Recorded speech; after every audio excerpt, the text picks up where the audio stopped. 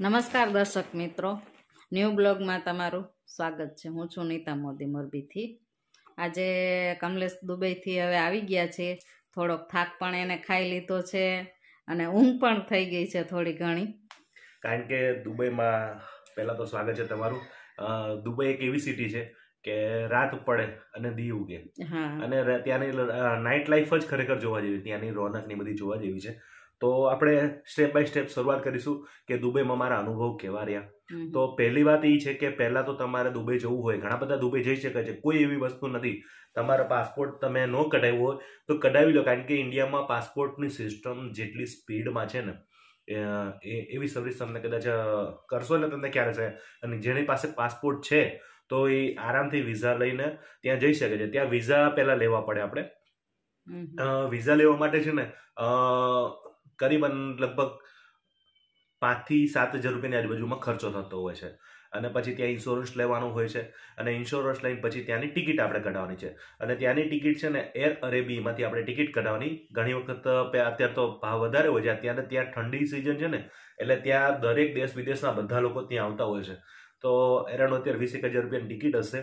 પણ લગભગ પહેલાં છે ને બત્રીસ હજારની આજુબાજુમાં આવક જાવકની રિટર્ન ટિકિટ અત્યારે ચાલીસ હજારમાં તમને આવક જાવકની રિટર્ન ટિકિટ મળી જતી હોય છે.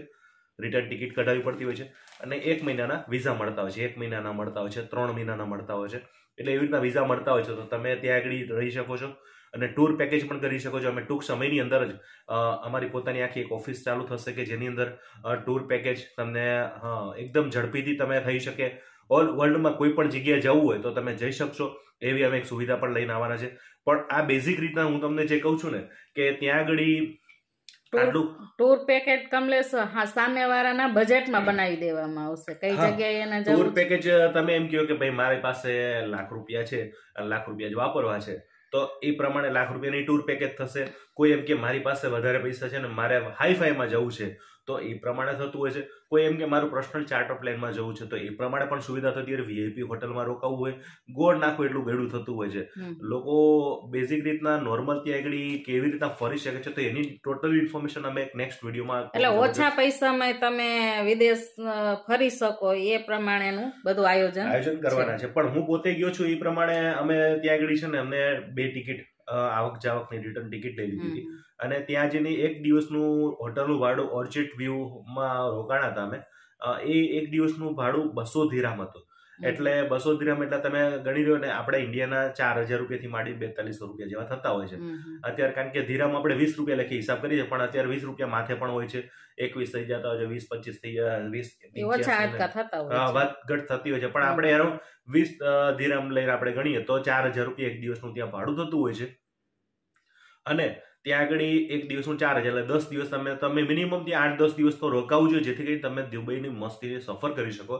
અને હોટલમાં સવારે બ્રેકફાસ્ટ આપતા હોય છે ચા નાસ્તો આપતા હોય છે વેજ અને નોનવેજ સવારનું જે બ્રેકફાસ્ટ છે એ ફિક્સ જ હોય છે ને દરેક હોટલ સવારે દરેક હોટલમાં ફિક્સ હોય છે. એટલે એ બ્રેકફાસ્ટ તો લઈ લેવો છે કારણ કે ત્યાં આગળ તમને આપણા જેવી હોટલો ત્યાં નથી નીતર. હા, હા. ત્યાં કોઈ હોટલો નથી.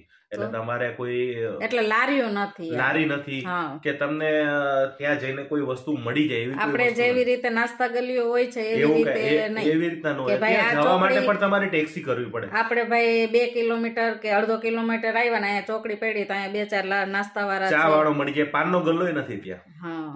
તમને કહી દઉં કે પાનનો ગલ્લો પણ ત્યાં નથી પણ બધી વસ્તુ મળી જાય છે ખરા. માવાવાળાને માવા મળી જાય છે બધી બધી જે કઈ પણ વસ્તુ ખાતા હોય તો વિમલ પણ મળતી હોય છે એટલે ઘણું બધું મળતું હોય છે ત્યાં આગળ. પણ આપણને ખ્યાલ નથી હા ખ્યાલ નથી એટલે ત્યાં પાનનો ગલ્લો નથી ટૂંકમાં.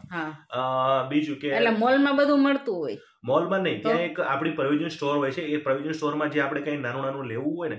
તો એ લઈ શકે મોલમાં તમને મોલ ઘણા બધા મોંઘા હોય છે અને સસ્તાય પણ હોય છે. એટલે એક ધીરામથી લઈને દસ ધીરામના પણ મોલ હોય છે કે એક ધીરામથી લઈને દસ ધીરામની જ વસ્તુ મળે એમાં પણ એવા પણ મોલ હોય છે ડે ટુ ડે કહેવામાં આવે છે અને મોટા દુબઈ મોલ છે બધા બધા હેવી મોલ ત્યાં બ્રાન્ડેડ વસ્તુ મળે એટલે ત્યાં તમને બધી વસ્તુ મોંઘી મળતી હોય છે.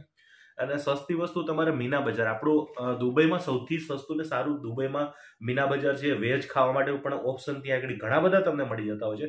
એટલે ઓર્ચિડ વ્યૂ હોટલની આજુબાજુમાં અમે ત્યાં રોકાઈને ત્યાં ટેક્સી મળે છે પણ બહુ વાર બહુ લાગતી હોય છે. એટલે આપણા જેમ નથી કે ચલો અહીંયા આપણે થોડી વાર ઊભા એટલે કોઈ આવે.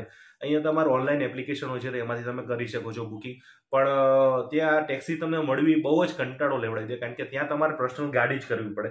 એટલે આપણે તો દિનેશભાઈની ગાડી હતી, એટલે આપણે બહુ જ બધું મારે એકદમ સરળતા થઈ ગયું અને દિનેશભાઈ મને ફૂલ સપોર્ટ આપ્યો હતો કે કમલેશભાઈ કે તમે અહીંયા દુબઈનું ફૂડ કવર કરો, લોકોને બતાવો, દુબઈની લાઈફ બતાવો. એટલે દુબઈમાં દિનેશભાઈ ફૂલે ફૂલ સપોર્ટ આપ્યો, એટલે thank you so much Dineshbhai, Amitbhai અને પરાગભાઈ. એમના વાઈફે એમને જમાડ્યા હતા, મારા જે મસ્ત મસ્ત જમવાનું બનાવ્યું હતું. એમના વાઈફે પણ અમને સવારે ત્યાં ચા નાસ્તો બધું કરાવતા હતા. પછી બપોર જમવાનું પણ કહેતા હતા કે તમે અહીંયા જમી જાઓ એટલે અમે ત્યાં જમતા હતા.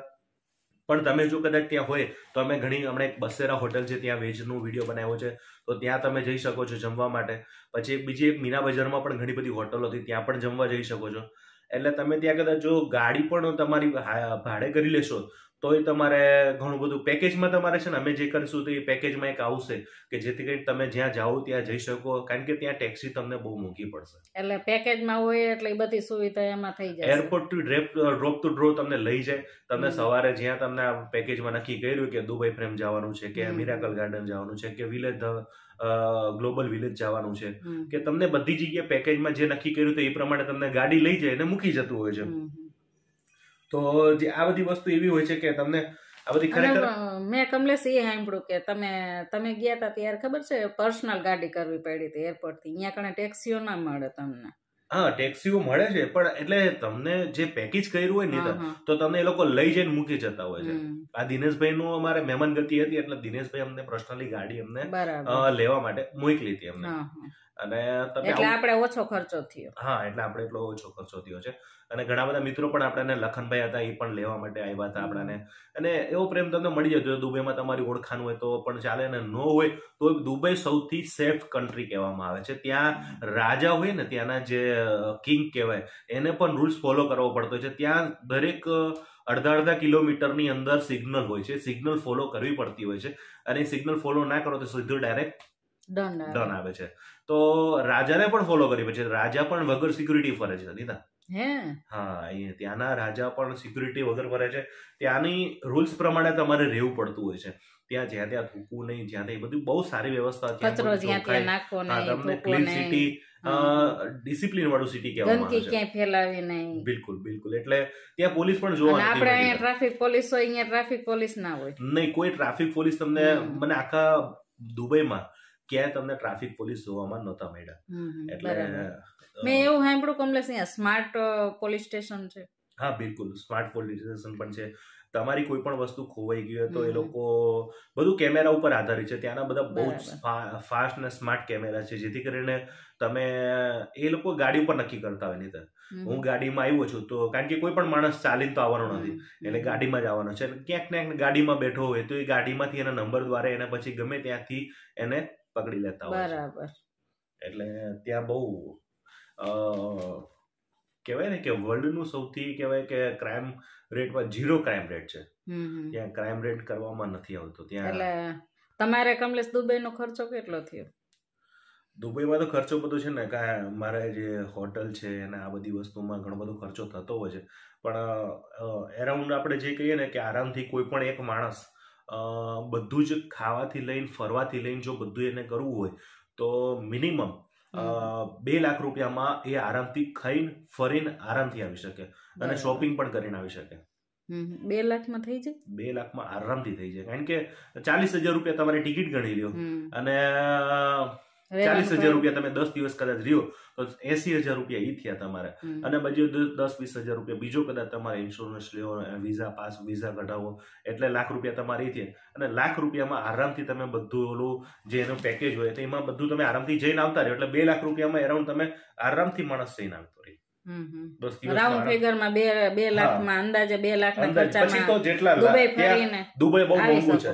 એટલે દુબઈ બહુ પછી તમારી ખરીદી ઉપર આધાર રાખે કે તમે કેટલી અહીંયાથી ખરીદી કરો કારણ કે કોઈ પણ જગ્યાએ જાઓ ને એટલે બે ત્રણ હજાર રૂપિયા ઇન્ડિયાના રૂપિયા થતા હોય છે.